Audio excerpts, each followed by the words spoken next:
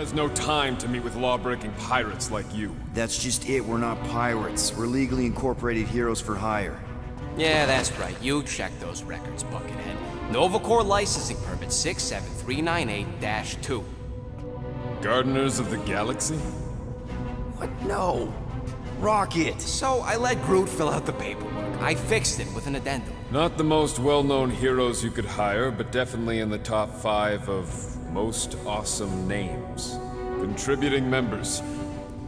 Groot, a Flora Colossus, last of his kind, fearless in a firefight, an awesome best friend. Rocket, bona fide super genius and a wizard with explosives. Definitely not a raccoon. Gamora, adopted daughter of Thanos, deadliest woman in the galaxy. Need we say more?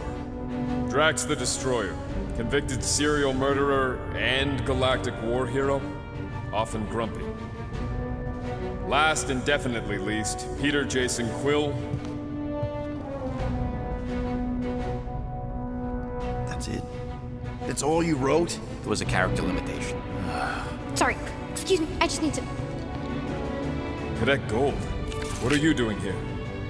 Oh, you don't know? Really? It says right here prisoner processing training.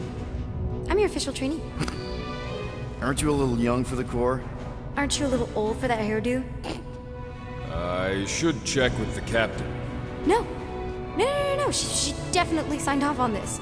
You know how thorough she is about signing stuff? If I may, sir, the real concern here is Regulation 7A regarding prisoner footgear. That one's jet boots are in clear violation. They're decorative. Good work, Cadet Gold. Great. There goes Plan B. We don't need a plan B, I got this. No, you do not got this, pirate.